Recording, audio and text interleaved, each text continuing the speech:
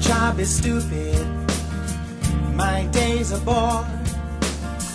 Inside this office, from 8 till 4. Well, nothing ever happens. My life is pretty blank. Pretending that I'm working.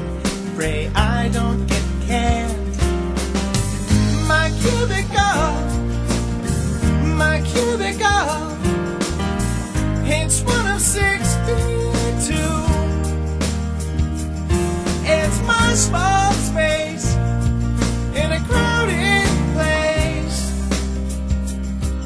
Just a six by six foot booth.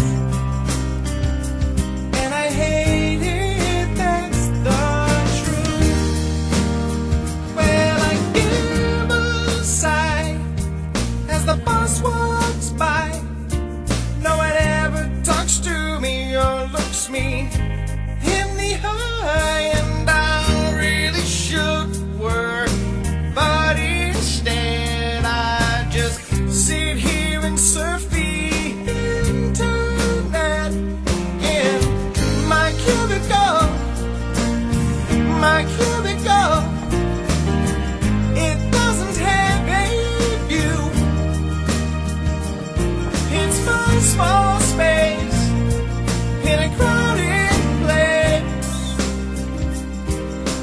sit inside there too.